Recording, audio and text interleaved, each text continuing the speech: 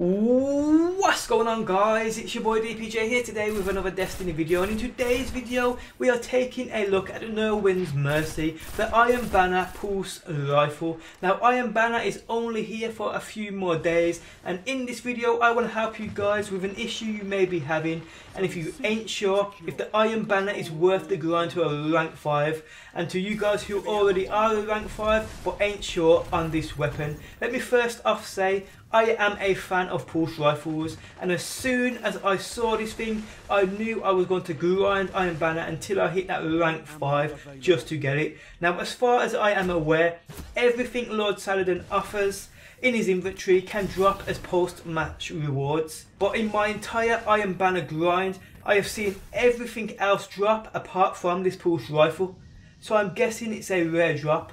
I actually bought mine from Lord Saladin himself as the mods on it are more than okay. My primary use of this weapon is PvP, so we will take a look at its PvP stats once we have gone through the perks it offers. Now purchased from Lord Saladin, it offers 280 attack. It's a 66-14 rate of fire impact weapon, same as that of the Red Death. We have 34 range, which isn't the best, and stability as standard is 71. Reload is a stat number of 68. Clip size as standard is 33. Now this weapon offers three sights, red dot OAS, range lens RLRS and true sight IS.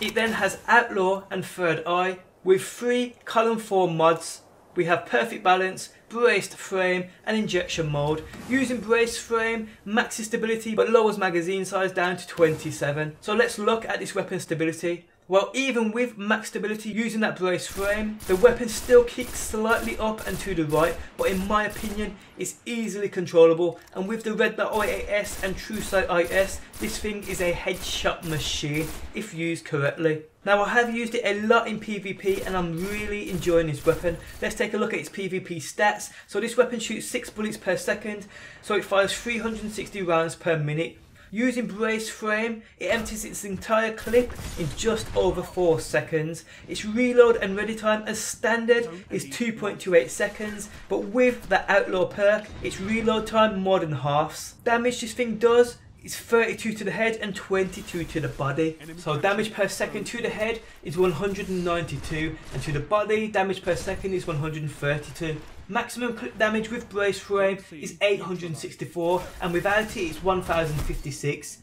So this weapon with a single clip can easily take out 3 or 4 guardians if you are accurate. So all around this is a promising looking pulse rifle and I can almost guarantee you will be seeing a lot of this in the near future in Trials of Osiris and PvP. Although it can't two burst kill an enemy, it for damn sure almost does and it will with an extra shot. Now I have many pulse rifles I enjoy using, the Villainy, the Hawksaw, even the Raid pulse rifle which can two burst kill you.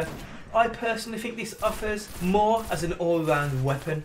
Not sure though I'd take it over my Red Death. But guys, this is the Nirwen's Mercy. If you have had it drop as a post-match reward while playing Iron Banner, let me know what mod you got on yours. Hope you guys enjoyed the video. Do drop a like, I do appreciate the support. Subscribe for Daily Destiny and I'll catch you guys on the next one. Peace out until next time. Peace!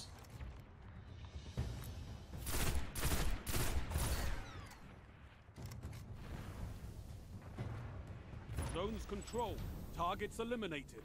Nice work. We all on YouTube every damn day, watching these vids of the brand new games. Vid after vid, many are the same. That's why you gotta go and find DPJ. Destiny gameplays, weekly snipes. Heavy uploads gonna have you a hype. Started